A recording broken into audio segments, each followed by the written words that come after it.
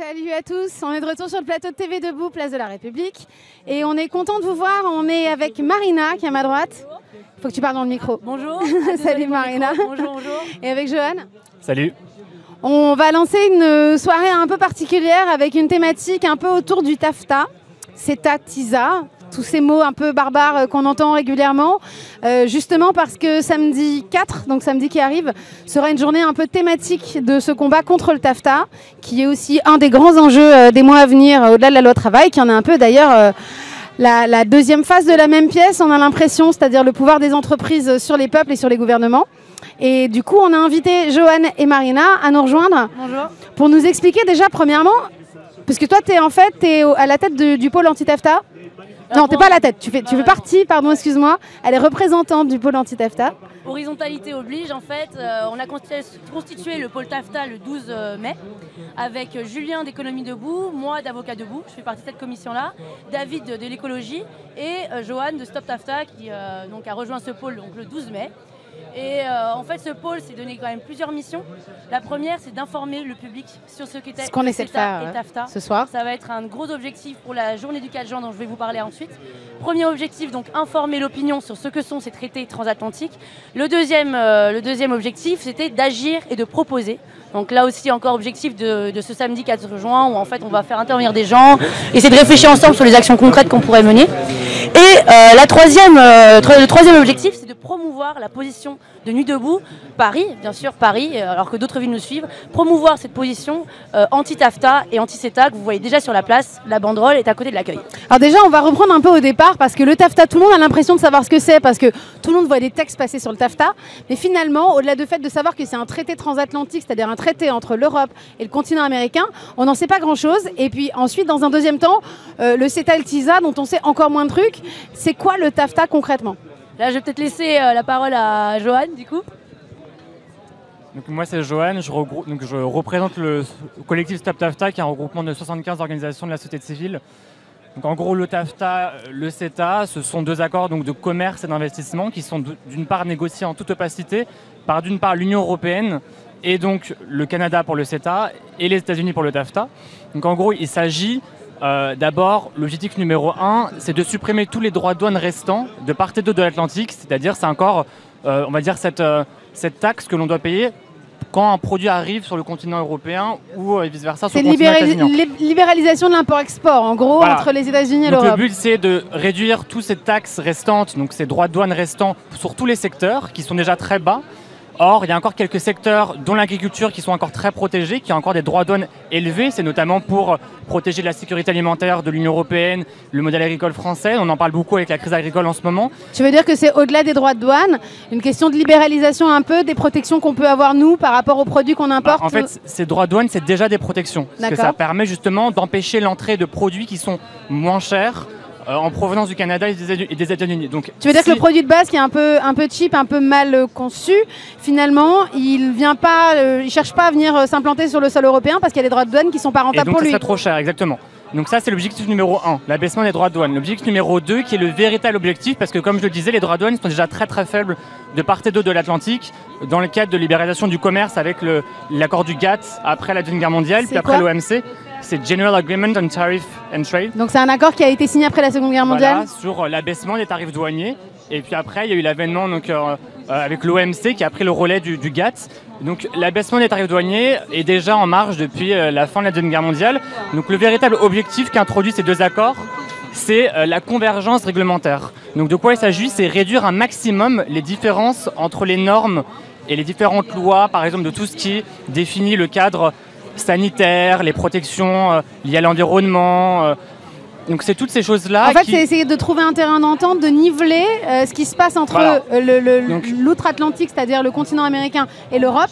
Sauf que euh, ça veut aussi dire forcément parfois niveler vers le bas, c'est-à-dire s'aligner sur leurs conditions En à fait, eux. ce qu'on va vous dire dans les, dans les termes un peu officiels, c'est on veut harmoniser les normes. Ils vont dire on va absolument écrire les normes du 21e siècle en termes de droit commercial et, et- et de l'investissement avant que la Chine le fasse, parce que forcément la Chine va nous envahir avec des normes L'argument plus- principal, donc, c'est lutter contre la. Chine et être Donc ça, plus c'est fort un peu l'argument géopolitique, géostratégique qui ne tient pas debout parce que quand vous regardez dans le passé, tous les accords de libre-échange, quand vous avez deux puissances économiques qui essaient de négocier pour harmoniser soi-disant leurs normes, donc pour arriver à une convergence réglementaire soi-disant vers le haut, ça n'arrive jamais parce qu'ils ont forcément des intérêts divergents, ils ont forcément des systèmes normatifs, des réglementations qui sont différents On de va, part essayer, et on va essayer juste, je te coupe, hein, on, va, on va rentrer dans le détail plus tard, mais là c'était juste pour faire une intro, Voilà, donc pour dire aux gens, ça. voilà, en Donc là, gros, ça va arriver vers un nivellement, nous ce qu'on pense, et on est même sûr, parce qu'il y a eu des fuites récemment qui l'ont prouvé, qu'on va arriver vers un nivellement vers le bas euh, de nos normes sanitaires, environnementales, sociales, etc. etc. Donc là, c'est l'objectif numéro 2. Et pour arriver à ces deux objectifs, on va outiller les multinationales avec deux principaux mécanismes. Le premier, c'est l'arbitrage d'investissement. Donc c'est une justice privée qui contourne la justice des États de l'Union européenne. En gros, ça veut dire, j'essaie moi de parler euh, le 4 ans et demi, c'est-à-dire mon niveau. Euh, en gros, ça veut dire que euh, si cet accord est signé tel qu'on pense qu'il est en train d'être conçu, euh, demain les multinationales pourront attaquer un pays comme Philippe Maurice l'a fait pour l'Australie par exemple, et pourront euh, en gros dire euh, vous voulez pas de, de Roundup sur votre sol, mais nous du coup c'est pas commercial pour nous, donc on vous attaque. Et, et c'est pas des, des- des- comment dire des, arbitrages euh, qui ont lieu sur les tribunaux du pays concerné, mais qui ont lieu par des personnes qu'on va choisir un peu pour intervenir en tant qu'arbitre et qui peuvent être potentiellement des lobbyistes et des gens qui sont un peu jugés partis. Voilà, c'est des avocats d'affaires. Bon, ça, voilà, et donc ça c'est le premier mécanisme. Et le deuxième mécanisme, pour aller euh, rapidement, c'est ce qu'on appelle en fait les instances de coopération réglementaire qui seront mises en place via ces deux accords, le CETA et le TAFTA, qui seront des instances technocratiques qui ne sont pas élues, donc qui n'auront pas de mandat populaire, et qui là vont donner toute la place, encore une fois, aux multinationales et à leurs lobbies pour avoir leur mot à dire sur telle réglementation, sur telle loi. Elles pourront amender, voire on pense opposer un véritable veto à tout ce qui est tout- toute loi en fait qui irait à l'encontre de leurs euh, intérêts privés. Quoi, En fait. gros, ça veut dire que nous, on va, par exemple, à l'Union européenne, il y a un truc qui s'appelle un conseil de normalisation, c'est-à-dire qui établit les normes.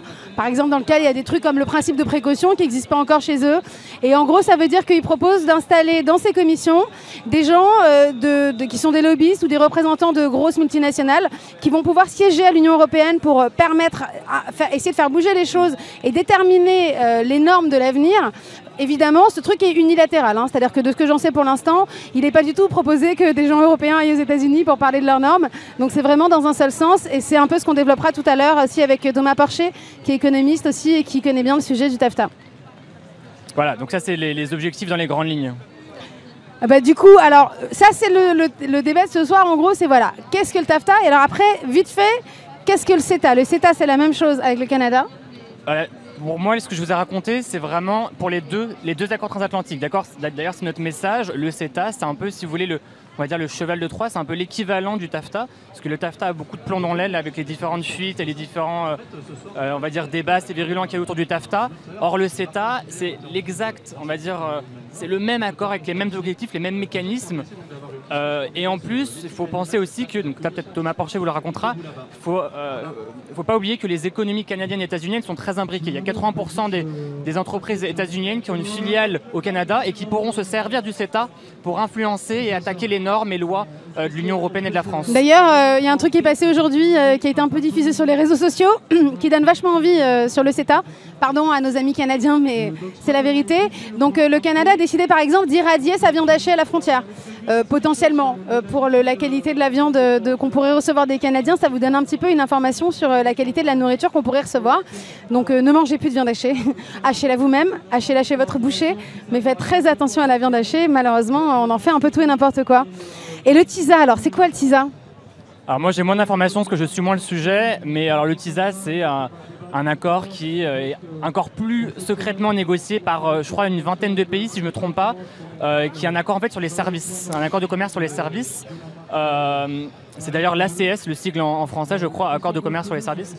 Euh, et donc là, il y a une fuite récente euh, qui montre également, au même titre que, que le TAFTA et le CETA, qu'il y a euh, énormément de risques, notamment, voilà, c'est un véritable déni de démocratie. On va essayer de libéraliser encore plus, privatiser encore plus les services, et notamment les services publics. En gros, ça veut dire que na- si on signe ce truc-là, les compagnies américaines, par exemple, ont le droit de venir sur le sol français et sont obligées de concurrence, c'est-à-dire qu'on est obligé d'ouvrir les marchés qui sont aujourd'hui privatisés. Je pense à EDF, Enercop, n'importe quoi. N'importe quel fournisseur d'électricité, par exemple, ou d'énergie peut venir sur le sol européen, pas que français. Et ça veut dire qu'en gros, on perd un peu la main sur des préférences nationales qui font que certaines choses fonctionnent parce qu'elles sont libéralisées, certes, mais qu'elles appartiennent encore à l'État et à des entreprises privées, et donc on a encore un peu la main dessus. Euh, voilà, tout ça, c'est un peu la même chose. En gros, pour résumer, pour ceux qui découvrent un peu ce sujet, euh, là où la loi travail donne le pouvoir aux entreprises sur le droit du travail, le TAFTA donne le droit aux entreprises sur le droit européen et le droit des pays qui cherchent à essayer de maîtriser un minimum ce qu'il y a dans nos assiettes, ce qu'il y a dans nos sols, parce que si ces lois passent et si par exemple on est obligé d'accepter Monsanto sur le sol européen, les sols seront foutus. On essaiera d'en parler tout à l'heure avec des gens un peu plus calés euh, sur l'agronomie. Mais voilà, en gros, c'est ça. C'est euh, renoncer au pouvoir des États face au pouvoir de l'argent, c'est-à-dire aux multinationales internationales. Alors du coup, on a un gros programme Ah, gros programme, gros programme. pour le Bon, je repars 4. du coup sur le côté événementiel, hein, après avoir bien défini ce que c'était le CETA, le TAFTA et le TISA. Du coup, on prépare tous ensemble avec Johan, Julien et euh, David et tous les autres membres de la- du pôle anti-TAFTA, anti-CETA, euh, la journée du 4 juin. Ça s'est préparé en plusieurs étapes. Comme je vous ai dit, le pôle s'est constitué tout récemment le 12 mai. On a eu beaucoup, beaucoup de pain sur la planche. Première étape, c'était de Le 4 passer juin, c'est samedi, on rappelle à tout, le monde. fait. hein. Samedi, dans deux jours, s'il vous plaît, venez nombreux, on aura besoin de vous. Donc c'est place de la République Place de la République, évidemment. Euh, plus ou pas, on sera là. Et du coup, en fait, cette journée se prépare depuis longue date. Depuis le 12 mai, on a plusieurs étapes. On est repassé en AG le 22 mai, euh, donc euh, avec le pôle anti-TAFTA et anti-CETA, pour avec un texte pour confirmer euh, la position du debout anti-CETA, anti-TAFTA, ce qui était déjà le cas depuis le début du mouvement. Mais on voulait reconfirmer ça de manière la plus légitime possible devant l'AG. Et ensuite, c'est arrivé donc les visuels. Vous voyez la banderole quand vous arrivez à l'accueil, banderole nu debout, anti-zone, anti-CETA TAFTA. On est très fiers de cette banderole avec dessin debout euh, qui a contribué. Les visuels au sol, marquage au sol, vous verrez euh, sur tous les, tout le bitume, anti-CETA, anti-TAFTA. Et euh, ce passage en AG a été très symbolique car on a fait un appel en fait aux autres villes que Paris de lancer en fait une zone hors CETA TAFTA. En effet, euh, l'objectif du 4 juin, c'est pas forcément aussi, c'est pas seulement de faire réfléchir les gens sur le CETA, le TISA et le TAFTA, c'est également de demander à Hidalgo de déclarer Paris zone hors CETA TAFTA, comme l'a fait euh, le maire de Grenoble, comme l'a fait le maire de Barcelone. C'est cet objectif-là, quand même, sous-jacent du 4 juin, outre informer l'opinion, c'est d'agir. Et cette lettre ouverte, elle est sur Facebook, sur la page Facebook donc, du pôle anti-CETA TAFTA que vous pouvez retrouver, qui a été diffusée sur les réseaux sociaux, qui est reprise par d'autres villes comme Lille, Bruxelles, Lyon, Strasbourg. C'est assez important quand même, ça, ça nous tient à cœur cette coordination nationale en fait. qui- Et tu as des nouvelles des autorités du coup euh, Ils vous ont répondu ou pas Enfin, des gens à qui vous avez envoyé cette lettre ouverte Euh, alors, les élus, euh, ils nous répondront peut-être pendant le conseil municipal, là où ils vont discuter de cette motion euh, hors CETA, hors TAFTA pour la ville de Paris. D'accord Mais on a des réponses des villes, et ça, des, no- des autres nuits debout. Alors Tu veux dire ça, des participants à Nu Debout des autres fait. villes, évidemment. Et ça, c'est quand même assez sympa parce que bon, Nuit debout Paris, c'est pas Nuit debout tout seul. Bien sûr. On fait, on travaille conjointement avec les autres villes qui répondent présents, et ça, c'est euh, c'est un gros plaisir aussi dans le travail qu'on fait depuis trois semaines de voir. que, Donc bah, Barcelone est déjà hors TAFTA, hors CETA. Comment? Barcelone est déjà hors TAFTA, Barcelone, c'est déjà déclaré hors CETA, hors TAFTA. Donc le, le- Grenoble aussi, la ville, la mairie du 14e le mairie, tu veux dire. le maire. D'accord. Tout à fait. Et là, on lance un appel le samedi Hein euh, pour faire de même. 1800 collectivités en Europe qui sont hors TAFTA, dont presque près de 700 en France. C'est quand même, c'est quand même formidable. Tout à fait. Après, le problème, c'est qu'effectivement, Paris, c'est extrêmement symbolique. Tout à fait.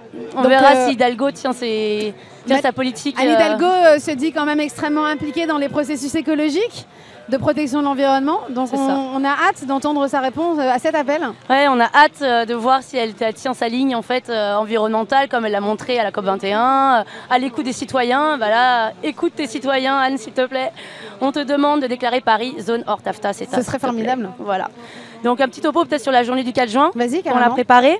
L'objectif du 4 juin, comme je vous l'ai dit, c'est bien d'informer, d'agir et de proposer. Et tout s'articule autour de ces trois objectifs avec toutes les commissions. Il n'y a pas que l'écologie, il n'y a pas qu'Avocat Debout, il n'y a pas qu'économie. Il y a Dessin Debout qui s'implique, il y a Banlieue Debout avec qui on va converger. Euh, il y a quand même aussi euh, Architecture aussi qui va nous monter un dôme. C'est quand même assez sympa euh, ce projet. Vraiment rejoignez-nous parce qu'il y a une très bonne ambiance dans ce pôle-là. Pour une journée qui va se décliner en plusieurs étapes. Donc déjà à midi, on fait un gros appel à volontaires pour monter notre super cheval gonflable de 3, de 8 mètres de haut euh, que Johan euh, nous prête euh, avec gentillesse. C'est génial. Donc pardon. appel aux volontaires pour monter ce super cheval gonflable. On va également monter donc la logistique avec les barnums s'il pleut. Normalement il pleuvra pas s'il vous plaît. Et également on verra Orchestre debout s'installer donc de midi à 13h30 en fait sur la place. Début des hostilités, c'est à 14h. Un atelier de vulgarisation, d'information en fait. Qu'est-ce que le CETA, le TAFTA et le TISA que va animer Johan euh, donc du Stop TAFTA. Également euh, seront présents en fait Nicolas Roux, hein, des Amis de la Terre, et Vial, donc du collectif Attaque, pour présenter cet atelier donc de 14h à 15h. À 15h, on commence avec l'orchestre debout, c'est la musique qui apaise les mœurs, donc du coup, on les écoutera tous euh, sur la place de la République. D'ailleurs, euh, Clément d'Orchestre Debout fait toujours un appel, il faut des musiciens. Ne pensez pas qu'il y a beaucoup de musiciens, il faut toujours rester mobilisé. Donc, si vous êtes musicien et que vous voulez participer, ou danseur, ou chanteur, n'hésitez pas à aller sur la page Facebook euh, Orchestre Debout, s'il vous plaît. Merci. Tout à fait. Donc du coup, 14h atelier d'information, 15h orchestre debout. Et là, on rentre dans le dur, dans le noyau en fait de, de la journée du 4 juin. C'est de 16h à 17h30 les débats en AG. On s'est bien accordé avec trois ou quatre intervenants qui vont, vont s'impliquer sur les volets touchés par ces traités. Le volet éco-social, ce serait Thomas Porcher, qui viendra peut-être tout à l'heure. Il y aura le volet aussi agriculture, alimentation, qui sont bien sûr un secteur extrêmement touché par ces traités. Et là, donc, ce serait Giraud donc, qui viendrait intervenir sur ce débat-là. Également des commissions qui voudraient intervenir. La commission logistique, euh, Marie, en fait, la logistique voudrait intervenir sur ce sujet-là. Avocat debout également. Et peut-être euh, la commission éducation populaire qui voudrait également euh, faire un topo. Et là, encore une fois, c'est extrêmement important pour nous d'impliquer les commissions toutes les commissions euh, ont un mot à dire donc à cet âge, donc euh, encore une fois un appel à eux. Et du coup c'est une occasion aussi pour tous ceux qui voudront se balader place de la République d'en apprendre un peu plus directement, de venir participer à ces choses-là, d'entendre les points de vue de chacun et de se faire une opinion propre. Informez-vous, c'est vachement important. Tout à fait. Donc encore une fois, objectif c'est informer, réfléchir et agir. Et l'action, on l'a mis en place dans un atelier Next Step. Donc en parallèle du 16h-17h30 de l'AG, on aura un dôme d'archi debout qui euh, contribue gentiment avec nous. Ils vont monter son dôme et sous cette bâche, pendant 30 minutes, on va se réunir pour parler des actions concrètes. Il y a les débats et il y a les actions. Les actions concrètes, donc c'est des choses que vous voulez faire pour essayer de faire en sorte que les citoyens prennent plus la parole, s'élèvent contre le TAFTA Plus que la parole, c'est d'agir. C'est vraiment de soutenir en fait tout ce qu'on soutient le 4 juin, c'est de faire réfléchir les peuples sur ces traités et de demander à Hidalgo, pour nous les Parisiens, de déclarer Paris zone hors CETA TAFTA. Parce et que... tout ce dôme va se gérer ces actions. Et là, je parle, on va pas tout dévoiler, mais c'est quand même l'action du 15 juin par rapport au conseil municipal où cette motion Or, c'est à TAFTA est déposé, que là tout va se jouer et c'est sous ce dôme que je vous donne rendez-vous parce que c'est là où en fait tout va se, va se coordonner. Et venez nombreux parce qu'on a besoin d'idées, on a besoin de mains. Et euh, c'est comme ça ensemble qu'on va pouvoir construire quelque chose. Parce que le problème principal finalement, c'est qu'on n'a pas du tout la parole. C'est-à-dire les citoyens ne sont pas du tout consultés sur ce texte. Déjà, les, législateurs ont du mal à savoir ce qu'il y a dedans. Il y a eu une fuite donc de Greenpeace. Il y a quelqu'un de Greenpeace qui viendra la semaine prochaine nous en parler euh, concernant certains aspects du texte qu'on a réussi à lire pour ceux qui ont réussi à mettre la tête dans les. Je sais plus combien de pages il y a là-dedans, mais il y en a beaucoup trop. Euh, 278. Moi, j'ai essayé de relever un peu des choses qui me paraissaient cohérentes, mais il y a énormément d'aspects qui sont extrêmement problématiques. Donc la première chose, c'est qu'on ne peut pas lire ce texte puisqu'il est, euh, est un peu négocié dans le plus grand secret. Et en plus, les citoyens ne sont pas du tout consultés sur un truc qui va avoir un impact sur leur vie, sur leur alimentation, mais donc sur leur cancer, sur leur emploi. Il y a tellement d'aspects finalement qui sont concernés par ce truc. C'est complètement opaque en fait, comme le disait Johan, les négociations sont dans une opacité totale. Et c'est ce qu'on dénonce aussi à Nuit Debout et avec le collectif Stop Tafta. Ouais, non, non, c'est vraiment un peu le combat numéro un qu'on a mené avec les différentes organisations, les, millions de citoyens via les, la pétition d'air européenne qui a rassemblé plus de 3,4 millions euh, aujourd'hui de, citoyens en Europe.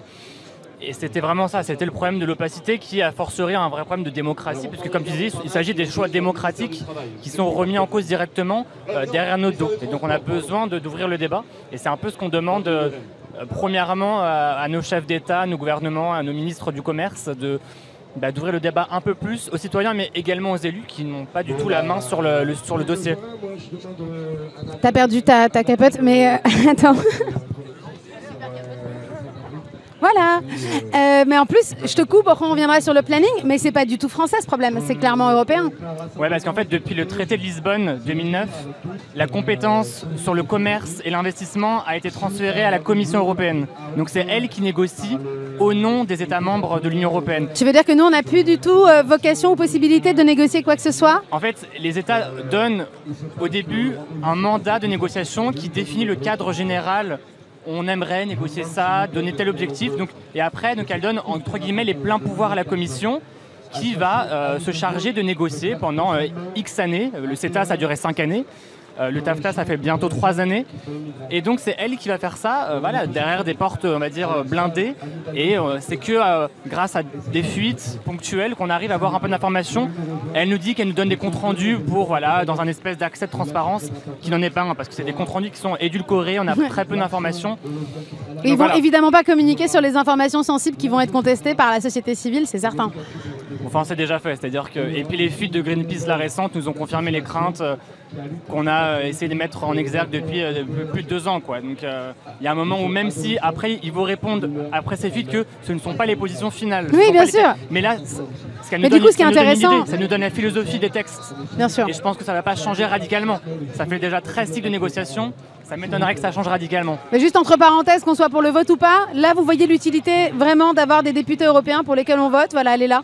C'est que c'est ces gens-là qui vont défendre ces textes. Donc euh, quand on se dit non, c'est pas très intéressant de voter pour l'Assemblée nationale, c'est pas très intéressant de voter tant qu'on n'a pas un autre système à présenter. C'est important parce que c'est ces gens-là qui vont se battre pour essayer de, faire entendre leur voix et pour faire en sorte que n'importe quoi ne passe pas au niveau du Conseil européen. Exactement.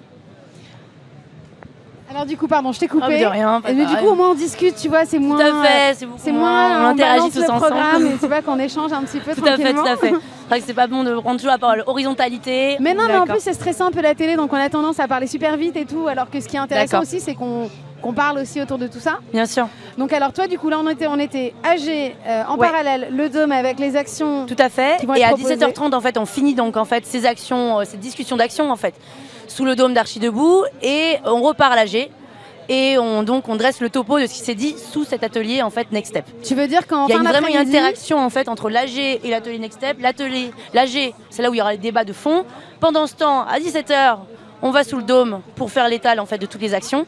Et après, on sort de ce dôme, on va en AG en disant on a prévu ça, ça, ça. Rejoignez-nous à telle date, à tel endroit, on va en discuter. D'accord, donc en gros, là ça veut dire que vers 18h, 18h30 Non, ce sera plutôt 17h30. D'accord. Pour la simple raison qu'en fait, on converge avec les luttes euh, qui sont sur la place de la République. Il y a également la marche des banlieues qui va démarrer à 17h sur l'autre côté de la, de la place et euh, qu'on va annoncer également en AG en fait. À 17h30 on finit, euh, on parle en fait des actions qu'on a mis en place, on, a on fait un appel au départ de la marche et là, du coup, euh, Fanfare debout se mettra, se mettra en place pour clôturer en fait toute la journée euh, qui s'est mise en place. D'accord, donc ça commence à midi jusqu'à midi logistique et euh, exactement 17h30. on passe le relais pour la marche de, banlieue debout. Tout à fait. Pour essayer de leur donner à eux de la force et d'orienter un peu tous les regards vers eux. C'est ça. Donc c'est une journée bithématique. Voilà, bithématique, voire trithématique, sachant que maintenant il y a également la marche en fait de, contre les abattoirs pour les animaux qui va aussi euh, prendre place sur la place de la République. Alors, on la est commission tous antispéciste qui va venir nous en parler euh, vendredi à 21h30 de mémoire, nous parler de cette marche justement. Euh, essayer de couvrir un peu tous les sujets, mais il y a tellement de choses. Ouais, ouais, complètement. Mais bon, on est tous, on est tous, vous êtes tous les bienvenus de toute façon. Une très bonne Et toi, du coup, tu es avocate au départ. Tout à fait. Alors, qu'est-ce qui t'a donné envie de t'impliquer dans ce collectif? Puis ensuite, on demandera à Joanne. Qu'est-ce qui a fait que tu t'es dit, ça, c'est un combat prioritaire pour moi? Bah, Déjà par les causes que ça défend et peut-être, bon, ça déjà de, de, manière sans être avocate en fait euh, en tant qu'être humain, on est quand même très, voilà, en tant qu'individu, on est déjà sensibilisé aussi par le déni de démocratie que tout représente, les causes qu'on veut défendre, et on sent bien ce que tu disais tout à l'heure. On sent que notre voix, elle porte pas haut, quoi. On sent qu'on a beau, on a beau euh, contester, se révolter, on en a marre. Moi, j'en avais marre de lire les articles de journaux et de, et de me révolter toute seule dans ma cuisine, en fait. Et j'avais vraiment envie d'agir autrement que dans les manifestations. Et là, il y a, y a quelqu'un, il y a quelque chose de, de profond. Il y a une réflexion. Il y a d'autres personnes qu'on rencontre qui sont d'accord avec nous. On a beau être des partis différents et de bords différents, on converge dans beaucoup de points communs. Ça, ça m'a vraiment passionné. L'énergie aussi humaine qu'on retrouve. On fait énormément de rencontres. C'est assez enrichissant. Et le troisième point, là, c'est plutôt en tant qu'avocat, ce qui m'a intéressé, c'est que ça casse les codes. On n'entend pas parler des avocats qui descendent dans la rue. Bah, là, cette fois-ci, c'est fait. Ils descendent dans la rue, ils tiennent des conciliations gratuites tous les jours, ils s'impliquent dans les débats de fond. Euh, euh, vraiment, ils mettent, la, ils mettent la main dans, dans, le travail. Et euh, je trouve que c'est ça qui est intéressant, en fait, dans Nuit debout. Voilà. Et du coup, dans cette notion de TAFTA, il y a aussi un truc un peu problématique qui est cette histoire d'arbitrage, dont on a un peu abordé les contours tout à l'heure. C'est-à-dire de se dire que potentiellement, euh, une, marque euh, ou une, méga société peut attaquer un pays qui refuserait ses produits et qu'on n'aurait pas beaucoup de possibilités de défense. Par exemple, en général, l'arbitrage en droit, c'est quoi? Déjà, l'arbitrage en droit, alors je ressors mes cours de droit euh, de, master, hein, parce que c'est vrai qu'on y passe tous par là quand on étudie en droit. En fait, l'arbitrage, par définition, en fait, c'est un mode de justice parallèle au mode de justice étatique. C'est un mode de résolution des litiges. On a des litiges, normalement on va devant le juge, et bien là l'arbitrage c'est différent. C'est pas un juge étatique, magistrat, fonctionnaire. Ce sera un juge qu'on va désigner nous. C'est pour ça qu'on définit l'arbitrage.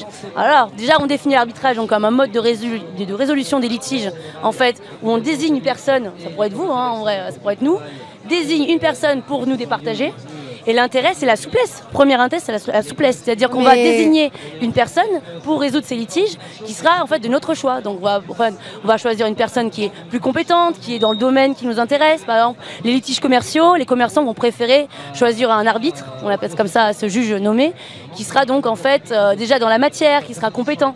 Mais vu que par exemple dans les, les jurés par exemple, pour qu'ils soient impartiaux, on en prend euh, plusieurs, 12, 15, etc. Parce que c'est des gens qui n'ont pas forcément l'habitude de l'exercice de ce pouvoir de faire trancher les choses. On sait que les juges, c'est quand même des carrières très très longues et très complexes parce qu'il y a une grosse responsabilité. Mhm. Du coup, c'est quand même extrêmement dangereux de pouvoir donner la décision dans les mains d'une personne qui peut être choisie aussi un peu euh, mal intentionnellement. Euh. Ah, en fait, ce, qui est, ce qui est fou, c'est que c'est une justice qui existe depuis très longtemps. Hein. L'arbitrage, encore une fois, on le voit historiquement, ça date du temps des Romains. Il y a toujours eu en fait ce moment de on délaisse la justice étatique pour se rejoindre en fait à la juste parallèle des arbitres en fait. Il y a toujours eu ça, donc peut-être qu'il peut peut-être approfondir sur le TAFTEL CETA, mais euh, en fait dans le TAFTEL CETA, ce qu'il faut comprendre, c'est que c'est l'arbitrage qui est lié à l'investissement.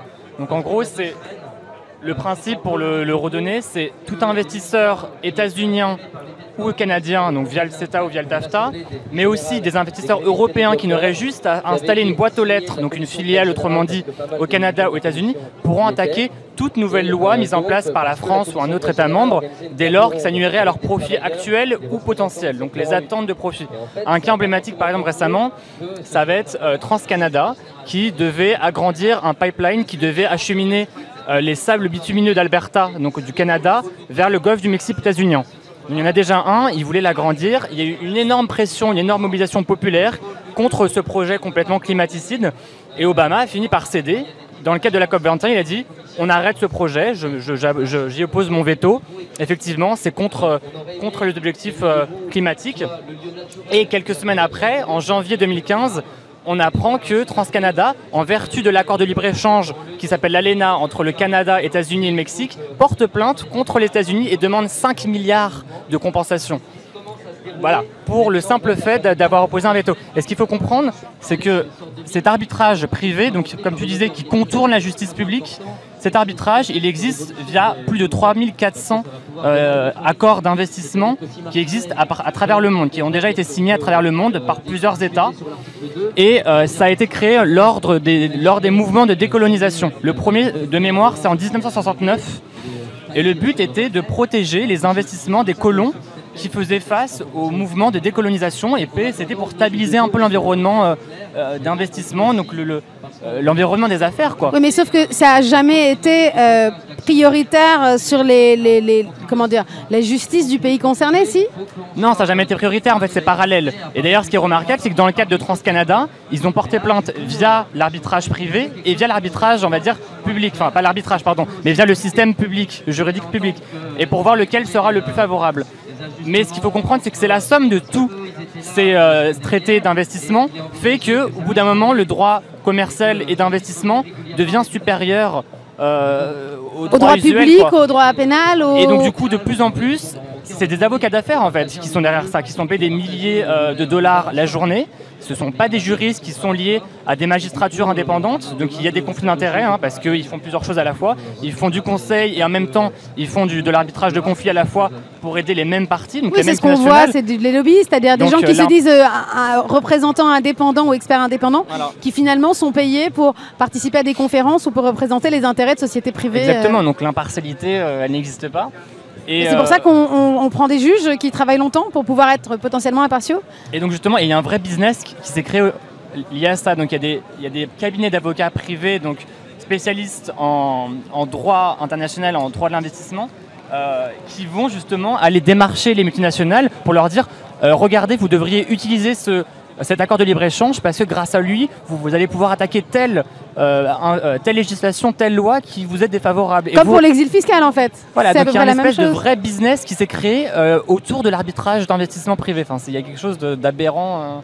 donc l'espèce d'intégrité qu'on attendrait des gens qui cherchent à, à signer des traités comme cela, qui mettent en péril quand même et la planète parce que clairement, ce ne sera pas un truc rétroactif. Hein. On ne pourra pas revenir là-dessus. Une fois que ce sera infiltré dans les sols, ce sera terminé, en tout cas pour les produits comme Monsanto. Et, même ceux qui ont dans les mains l'avenir etc., l'alimentation d'une population, on parle d'un mal mondial, on parle de leurs enfants. euh, ces gens-là arrivent quand même pas à faire passer. On voit que l'argent passe maintenant devant tout. Il n'y a plus d'intégrité par rapport à ça, quoi. Moi, ce qui me choque, enfin, après, je reviens pas là-dessus, mais ce qui me, choque en fait, c'est euh, avec, le recul qu'on a, en fait, on se rend toujours compte qu'en fait, cette justice parallèle prend énormément de poids quand en fait la justice étatique est faible, quand l'État est faible. Et c'est là, en fait, l'État, ça représente comme les citoyens, ça représente l'intérêt général. Et quand cette justice arbitraire prend autant de poids, en général, c'est toujours accompagné en fait d'un État faible qui défend mal ses intérêts. Et ça, en fait, qui fait vraiment peur, je trouve. Et un dernier détail, il ne faut pas oublier que ces compensations, elles sont payées par l'État. Donc, qui est derrière l'État C'est le contribuable. Donc, c'est le contribuable qui paye in fine des compensations. Donc, c'est un transfert de fonds publics vers euh, les mains des multinationales. En fait, c'est les, miettes qui nous restent aujourd'hui, puisqu'on sait que le reste au Panama ou au Luxembourg, euh, vont donc faire comme d'habitude. C'est-à-dire qu'on renfloue les banques et les banques nous, nous prennent ce qu'on a. Donc finalement, c'est l'argent des citoyens qui va vers des structures privées qui maintiennent leur pouvoir et leur puissance en gardant cet argent euh, à l'écart et qui ne le font plus circuler, ce qui fait qu'on est de plus en plus opprimé et de plus en plus tributaire de ce système financier. Donc on parle de la fin des pouvoirs finalement politiques des États et de dire qu'aujourd'hui, en gros, clairement, c'est un aveu de faiblesse des États face euh, aux multinationales. Ça veut dire que ça sert plus à rien, que notre pouvoir aujourd'hui n'est déjà plus en France, mais déjà presque plus à Bruxelles, et que finalement, euh, des structures internationales assez fortes vont décider de notre avenir, de ce qu'on mange, de comment on va travailler, comment vivre. En gros, c'est ça. Après, euh, il faut quand même avoir une lueur d'espoir quand même, et on va quand même en parler, je pense, samedi 4 juin, de la marge de manœuvre qu'ont les peuples en fait euh, face à ces traités. C'est la mobilisation, parce que bon, Johan pourra en parler plus que moi, mais plusieurs fois, la mobilisation des citoyens a montré qu'en fait, des fois, les structures, la Commission européenne par exemple, reculent sur certains points. Et c'est pour ça que c'est important en fait d'informer les gens et que les gens se saisissent de leur sujet. C'est ça qui se passe à Nuit debout, c'est qu'on se saisisse des sujets qu'on ne comprend pas aux abords, on se force et c'est là le pouvoir, c'est l'information. Et c'est, je pense que Joanne pourra me compléter là-dessus, mais c'est là l'enjeu en fait.